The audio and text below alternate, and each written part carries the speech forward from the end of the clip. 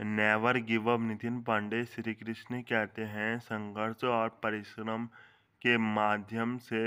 ही सफलता प्राप्त की जा सकती है सत्रह अगस्त 2024 Nitin Pandey my YouTube channel name is never give up Nitin Pandey like comment and share and subscribe please